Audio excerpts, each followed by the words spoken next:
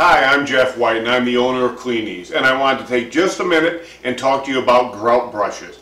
Pretty boring subject, but it's pretty important when you go to clean your tile and grout. Uh, I was in the tile and grout cleaning business for over 20 years. I think I've tried every grout brush on the market. I was just going to go over a few, tell you why they work, why they don't work, and uh, just give you my opinion.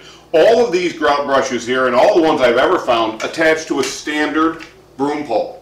This is just a broom from the dollar store. Okay, the handle comes off. This cost a dollar from the dollar store.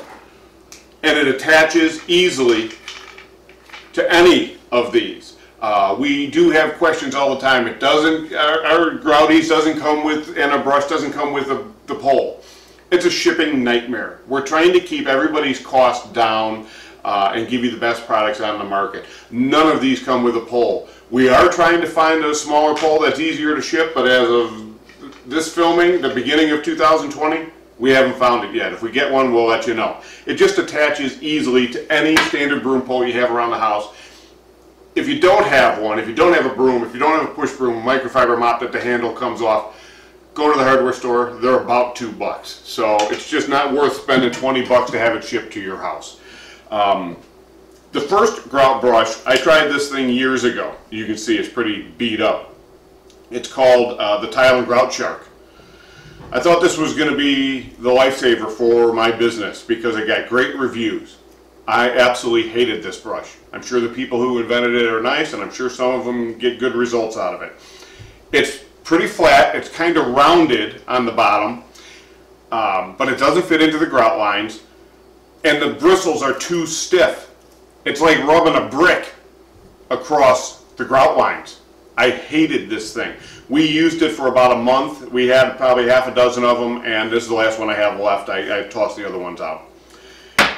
The next one we used for a while was from Flo-Pac.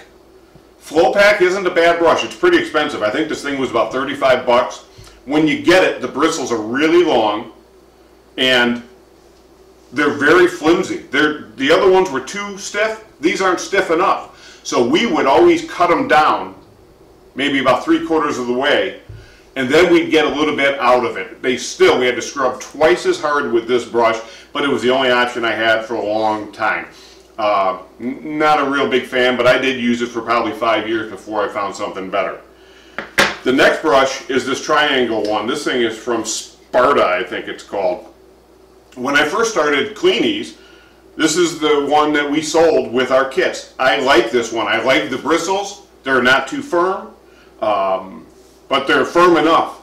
The problem is it's flat, so it doesn't fit into the grout lines. You always have to go on an angle to get into the grout lines, and it doesn't swivel like the other swivel.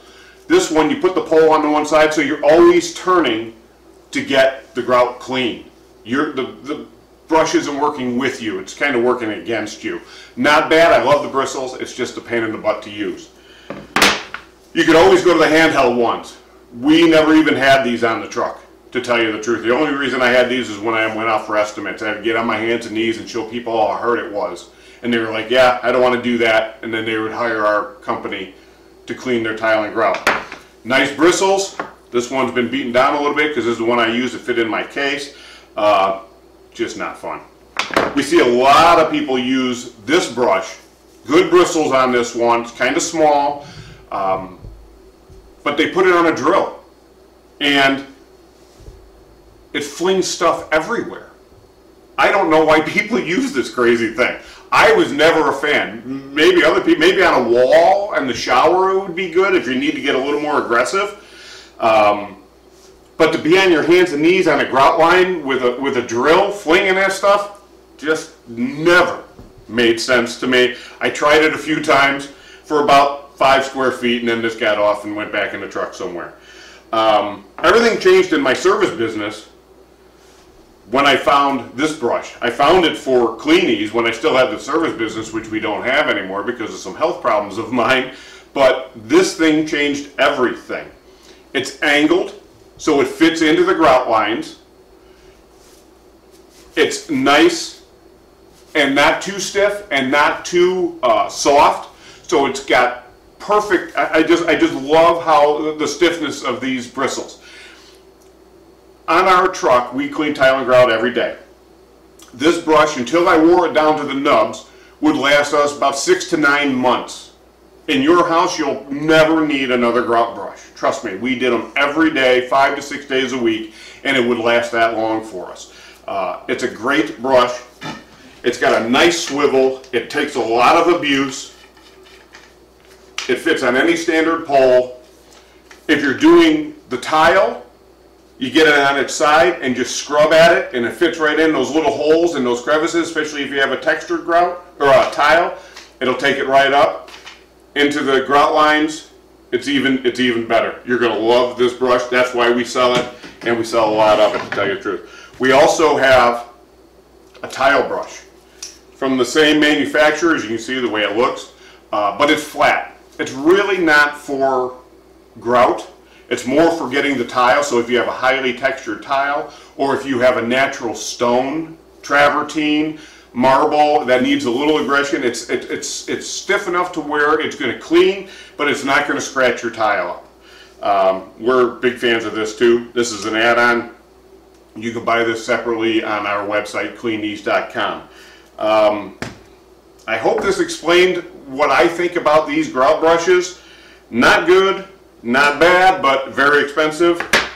This one, great bristles, but really a pain in the butt to work with, especially since you got to get on, the on its side and get into the grout lines.